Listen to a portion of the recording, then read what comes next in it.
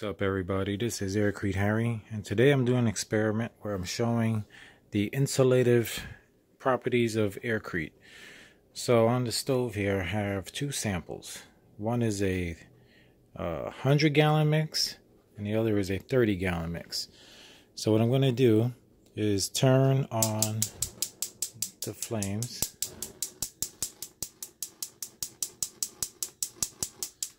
and I'm going to set them to 6 on here.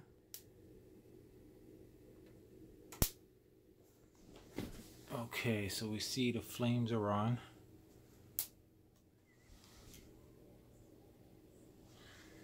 And next, I have the thermal imaging camera.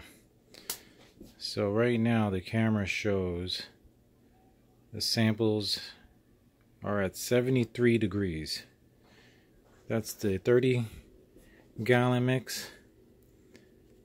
And 67 degrees on the no this is the 30 gallon mix and this is the 100 gallon mix. So and they're both a little moist. They they were uh, outside and the bottoms here wet. Okay oh let's show the heat so I'm getting a temperature reading right now of 356 degrees and the time is 844 so I'm going to leave this on and I'll come back in about 10 minutes to see how much the uh, samples have gone up in temperature on the top part. Alright, I'll be back. Okay, so it's been 10 minutes now, and my two samples are still on the stove heating up. This is the 100 gallon mix, okay, and this is the 30 gallon mix. Now, of course, there's heat coming off the sides that's rising up the sides of these pieces, but the tops are cold and I'll show you now with the thermal imaging camera. The top of the 100 gallon mix shows 87 degrees at the very top. And if we go down the side here it shows on this edge right here 157 and then if I just go down to here it shows 344 degrees so that's the 100 gallon mix sample. So this has been surprising to me that the 30 gallon sample seems uh, to be more insulative.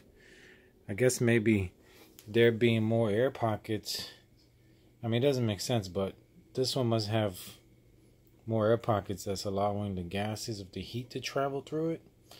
Or maybe that the pockets are too big on this one compared to the pockets here, the air bubbles, uh, the air voids in the sample. So I don't know, but right now the 30 gallon mix, I didn't have on hand the 50 gallon or, uh, well, I didn't make a 60 gallon, but based on what I'm seeing here, um, I don't think I would use a 100 gallon mix. I mean, I might have to do this experiment one more time by making a new batch of aircrete. But uh, based on this, I think probably like a 50 or 60 gallon mix would be enough. I don't think a 100 gallon is necessary. I would do, I would go for like a 50 or 60 gallon mix. Now, when I say that, I mean one 94 pound bag of cement, six gallons of water, and a 60 gallon container.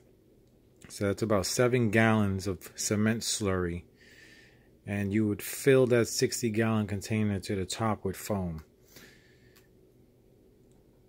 And, um, and then, uh, of course, when I say 30 gallon, I made this sample in a 30 gallon garbage uh, container. Uh, again, 7 gallon cement slurry, and then I filled the top of that 30 gallon container with foam as I mixed it. So, and this was done with 100 gallons. So again, here here's the thermal imaging. This is the very top center of this piece. It's reading 82 degrees and you can see from the side view the heat coming off the sides of the uh, the bricks. Yeah 348 degrees 350 degrees on the side of the brick. And then if we move up a little it shows 136 degrees. But again this is because the heat is coming up over the sides all the way around. In fact I have these pieces moved a little forward because I didn't I wanted a place to put my hand otherwise the heat would come up and I'd, I'd get burned just from the heat coming up the sides. But um see they're both on. And um it's well insulated. So I'm gonna give it another 10 minutes um from uh, I guess from this point here. And uh We'll take another temperature reading.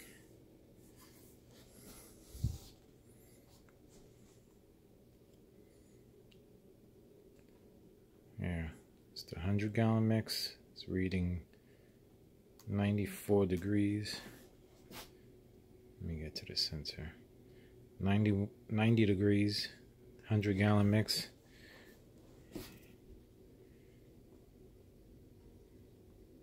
Eighty degrees on the 30 gallon mix.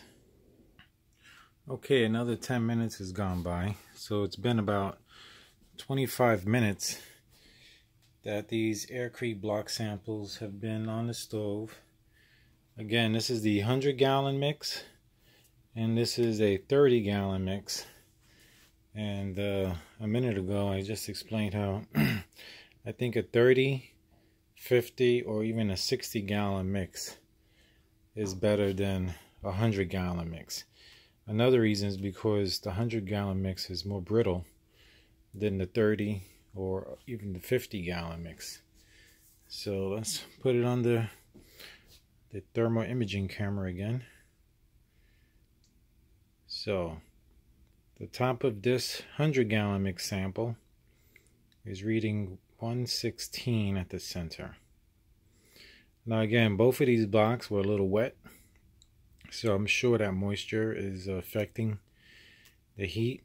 I don't think there would be as much heat coming, showing in the center here if these blocks were completely dry. But the tops of them are, dry, are still wet. You can see here the, the wet line. And also we have the heat coming off the sides, coming up and heating it. It's not like uh, the heat was just dead center and not coming up the sides here.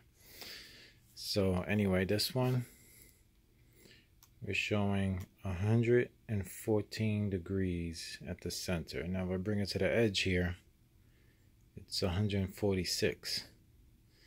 And again, it's the heat coming up the sides. You can see from the image, like right here, is showing 345, and then right above it, is showing 220, 222. If I move it over a little, 194. If I go to the top, it's reading 111. That's the 100 gallon. And I'll move over. This is the 30 gallon mix, reading 87 degrees at the center. And here again you can see the image from the side. I got a 120 degrees at the top edge. And as I move down towards the hot spot it's showing 345 okay so I'm gonna flip these samples up. I'm gonna uh, flip it up and move it over.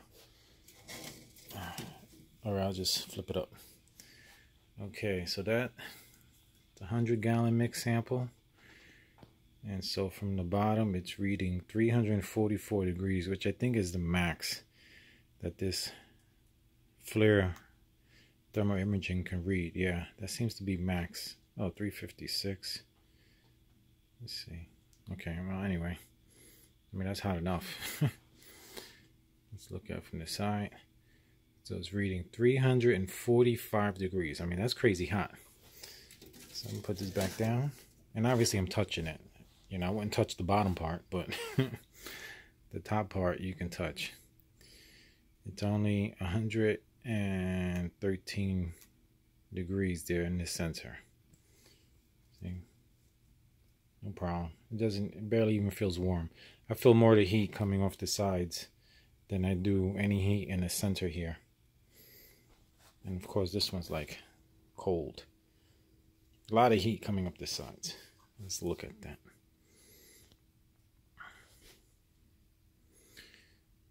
There. 85 degrees. And if I move over a little, bam, 356 we sorted for a second, 351. I mean, that's really good. And this is about four inches thick. Um, about.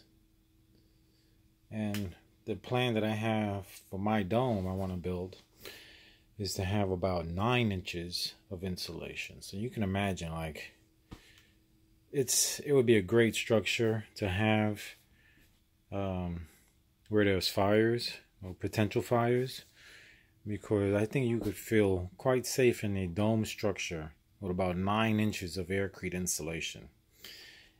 And of course, the finish would be like a stucco type finish to seal it and waterproof it. Uh, thinking like a magnesium based cement or even like a rapid base, rapid set cement, uh, a thin coating to seal all the holes up here and to make a, waterproof coating. And then if I needed even on top of that, I could do a latex based cement to um, make it even more waterproof. So I don't know. That'll I'll figure that out later exactly which method I choose because I'm planning to build a few domes. And um, so anyway, you can imagine nine inches of this insulation. That would be amazing. I mean, even four inches. Look, I mean, just those four inches alone are insulating it. And I believe that's how they test insulation is with the heat. I don't ever see tests done using the cold. Like they don't make a room and put in a giant freezer box to see how it, how it works. They always use a, a heat as the test. From what I know. If I'm wrong, you could just write that in the comments. But I'm going to stop this test now. I started it it was 8:44 p.m. It's now 9:14. Um, I don't think uh, it's really gonna get much hotter. I mean, that's come on. That's that's what is it? 347 degrees. So that's almost 30 minutes now.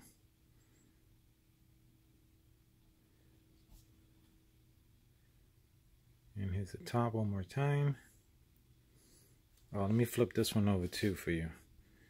So this one again is reading 96 degrees now. And again, one more time, I don't believe this would have even increased that much if the sample were completely dry.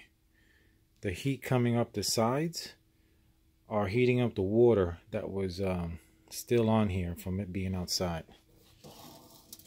So you can see these are the samples that I made and did my other test with. Yeah, so he's reading 344 degrees. I think that's close to the max. 350.